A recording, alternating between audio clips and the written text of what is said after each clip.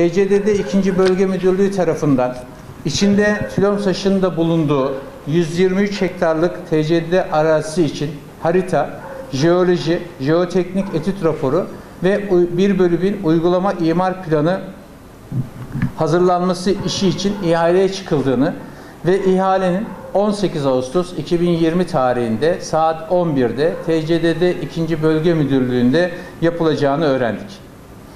Geçmişte hat boyu düzenlemesi nedeniyle TCDD ile Büyükşehir Belediyesi arasında yaşanan çekişme, yakın zamandaki Tülomsaş deneyimi, en son yaşanan engelli vatandaşlarımızın ücretsiz seyahat haklarının engellenmesi gibi konular Eskişehir halkında olumsuz, olumsuz hassasiyet yaratmıştır.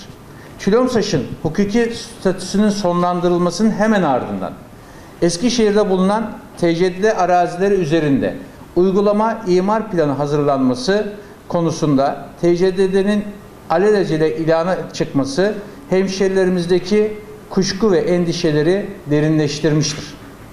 Her ne kadar 23 hektarlık arazinin tapusu TCDD'nin ise de bu araziler Türk milletinindir, Eskişehir halkınındır.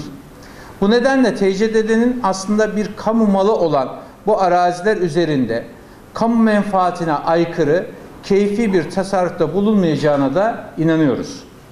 Eskişehir'in her bir noktasında imar ihtiyacının ne olduğunu en iyi Eskişehir belediyeleri bilir.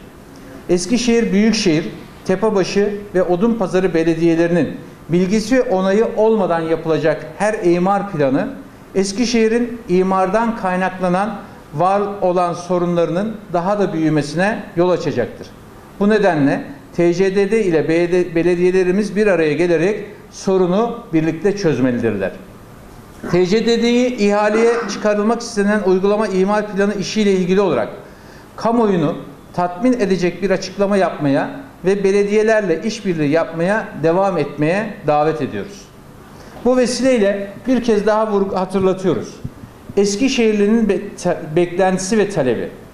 TCDD'nin ihtiyacı olan 84 adet yüksek hızlı tren seti alımı ihalesinde yerlilik şartını karşılayacak ortak olarak ve üretim tesisi olarak Tülomsaş'ın tanımlanması, Tülomsaş'ın milli yüksek, yüksek hızlı tren üretebilecek modern tesislere kavuşturulması, Eskişehir'de raylı sistem araçları organize sanayi bölgesi kurularak Eskişehir'in raylı sistem araçları üretim merkezi haline getirilmesi, yıllardır e, sürüncemede bırakılmış olan Oraysim projesinin tamamlanması, böylece üretim ve istihdam artışının sağlanması, raylı sistem araçları ithalatına bağımlı olan ülkemizin ihracatçı konuma yükselmesidir.